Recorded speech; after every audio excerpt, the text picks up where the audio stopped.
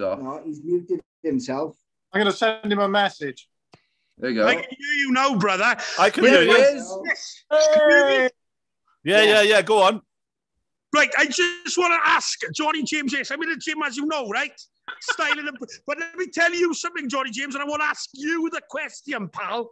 Go on, Why then. did you block yours truly on Facebook? Because let me tell you something now. If we're real friends, they do not block each other on Facebook because they disagree on something. Just because you disagree on something doesn't mean to say that you can't still be friends. What's that about then?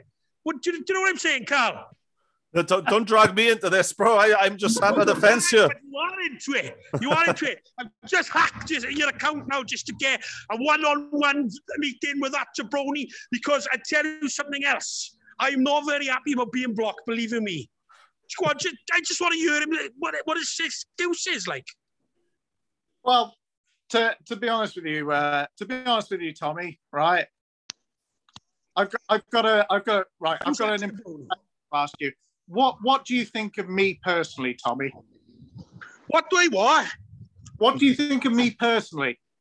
Personally, do I need to answer that? Do you re- if we live, I mean, I can, you know, we live now. Do I really need? Shall I answer that, uh, Kay? Yeah, yeah. Answer it. Answer it. That's what we want. Yeah, go on. Just, Go on. You know, Johnny, I've changed my changed my mind on him. He used to be such a nice guy, down to earth. You know, used to be, you know, uh, you know, one of the boys, so to speak. But all of a sudden now, you know, since uh, he's got this new beard, and all of a sudden I did this new Jonathan Lloyd James.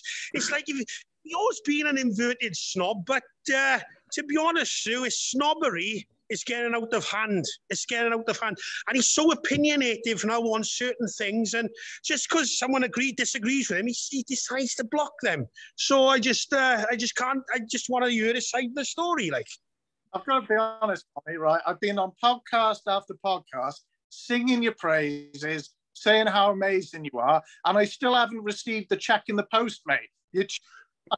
Listen, I don't listen to these podcasts. You think I got better things to do? Listen, look, look listen, I got better things to do. Like, uh, you know, I'm a real wrestler, I'm the greatest Welsh wrestler that's ever lived.